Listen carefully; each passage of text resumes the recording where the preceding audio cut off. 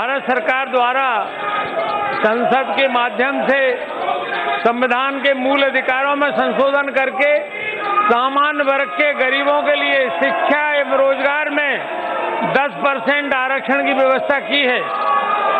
इस संवैधानिक प्रावधान को मध्य प्रदेश शासन द्वारा अभी तक लागू नहीं किया गया है। इससे सामान्य वर्ग के गरीब युवा इस सुविधा से वंचित हैं।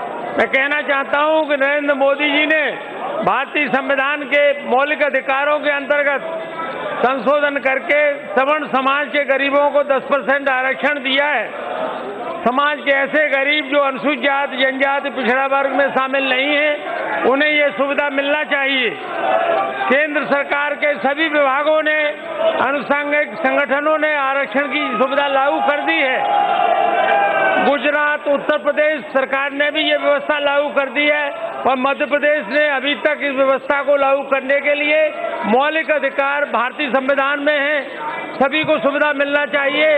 और मध्य प्रदेश के युवाओं को सुविधा मिलने के लिए निर्देश जारी किए जाएँ।